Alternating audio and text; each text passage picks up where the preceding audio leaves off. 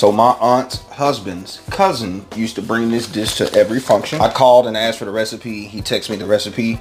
This is one of those recipes that you see at the function. You're like, oh, who made this? And you skip right over it. Well, one day I didn't skip. I had a bite and it was pretty tasty. And I'm about to show you right now. Let's get to the bowl. I just added five to six ounces of chocolate pudding. That's about a pack to a pack and a half, depending on how big your pudding box is. Now we're gonna add a cup and a half of 2% whole milk or 1% milk to the bowl. Now what we want to do, mix this bad boy up. One thing I like about this recipe is how easy it is. I kind of have a recipe like this, so it's right in my wheelhouse. Now in a separate bowl, we're going to add a cup of heavy cream, and then you're going to hit it for about two to three minutes. Add this to the bowl and mix it up.